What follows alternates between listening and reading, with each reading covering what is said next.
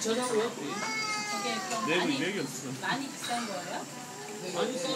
핸드폰 우리가 30만 원 샀는데 삼성 획득이 90만 원이라서. 외국은 네 더 싸더라고. 삼성이 굉장히, 어, 굉장히 지금 불안한다는 거예요. 네, 아이폰이 나왔